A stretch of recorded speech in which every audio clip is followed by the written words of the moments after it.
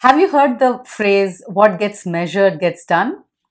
Measuring anything means that you decided to give it time and attention to understand what works and what doesn't work for you. You can improve your productivity, whether it's at home or at work, by simply measuring it. So in this video, I want to share with you a few steps I've learned from my management classes in understanding how you can measure so that you can maximize your productivity. Let's get started.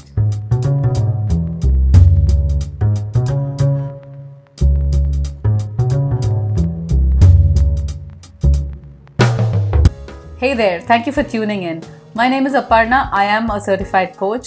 Every week, I bring to you tips, tricks, tools, and hacks that can help you upskill your life. And if this interests you, do consider subscribing to my channel. And while you're there, do not forget to press a bell icon so you're notified every week when I post a new video.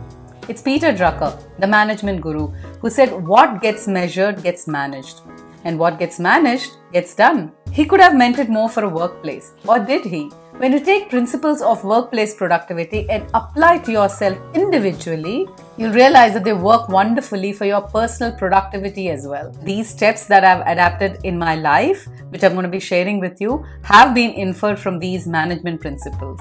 The first step is for you to choose quality over quantity. Personal productivity is rarely about just ticking off the things from your to do list. It's more on the feeling that you get, the feeling of accomplishment you get after the work is done. Which means for personal productivity, you got to choose quality over the quantity. And you achieve quality when you narrow down the things that you need to do every single day. Which gets me to the second step, which is planning your priorities.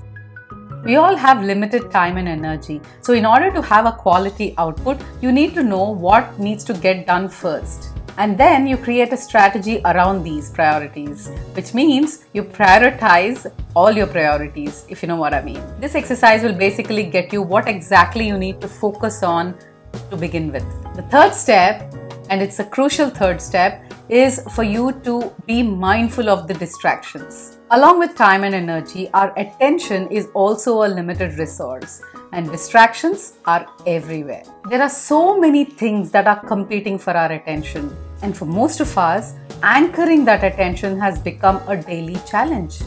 But when you're mindful about the impact it's making, which is what is distracting you, you can then work towards making it stop. I'll be speaking more on this elaborately in my upcoming videos. And now the ultimate step to measure your productivity is step number four, which is to schedule time to reflect and measure. Give yourself five minutes every day to reflect on how your day has been. How do you feel about your day? If you have accomplished well and feel good about the achievements of your day, then you can say you have been super productive. Think about what went right and how did you manage to do that?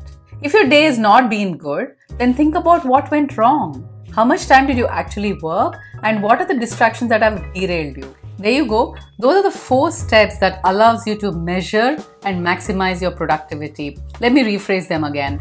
Step number one is to choose quality over quantity. Number two is planning your priorities. Step three is to be mindful about the distractions that can potentially derail you. And the all important step number four is to spend time to reflect on how your day has been so that you can measure your productivity. Let me end today with this lovely quote You wake up with determination and you go to bed with satisfaction. That needs to be the mantra of our lives. What is it that you do to maximize your productivity? Do you follow any particular uh, formula? Is there any secret that you wish to share? I'd love to hear from you. Do leave it in the comment section below, or you may reach out to me in any of the social media platforms that I'm in. Thank you so much for watching. If you find this video resourceful, you know what to do. Do hit a like button and share it with your friends.